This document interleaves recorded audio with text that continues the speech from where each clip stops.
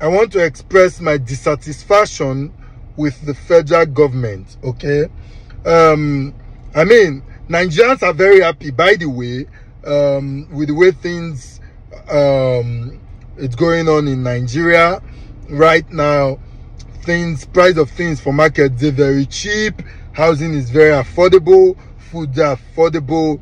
In fact, security security is very tight. And that's why if you come online you go see say nigerians no dey complain. Uh, the only thing wey they really need na just data. Make dem just dey cash cruise. You understand? But now my dissatisfaction with the federal government is the same pain wey most nigerians dey feel. Because if you watch all over the internet right now the only thing nigerians dey complain about no be food no be housing you know no be insecurity. The only thing wey dem dey complain na davido iv how would Tinubu not discuss with davido to make his iv for a wedding? Dey dey accessible for all. Na the only problem when nigerians get price of things for market is very cheap. Housing they're very cheap. You know go internet now.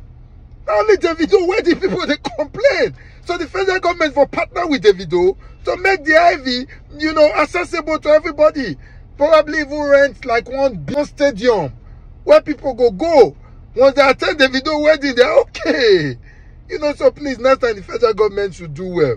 You understand? Very important. Nigerians want to enjoy weddings.